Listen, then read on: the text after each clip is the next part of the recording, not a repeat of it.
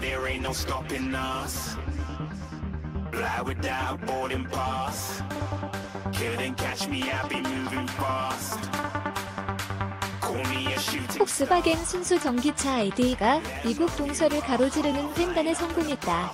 아이딘이 시장 상륙을 알리기 위한 이번 도전은 뉴욕을 출발한 지 18일 만에 캘리포니아 세크라멘토 도착을 끝으로 마무리했다.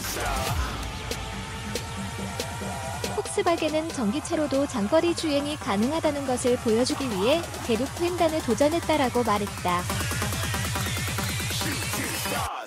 뉴욕에서 캘리포니아까지 ID가 달린 거리는 총 6,700마일, 약 1782km에 달했으며 Electrify America, Electrify America에서 충전을 했다.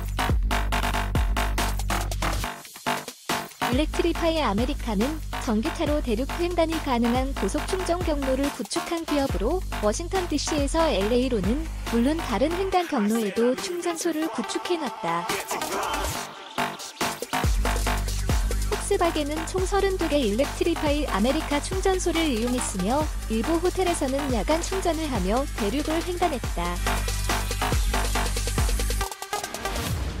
아이디는 SUV 타종으로 82kWh 배터리와 AC 모터로 최고 출력 201마력을 발휘하며 1회 충전으로 EPA 기준 250마일, 402km 주행 가능 거리를 갖고 있다.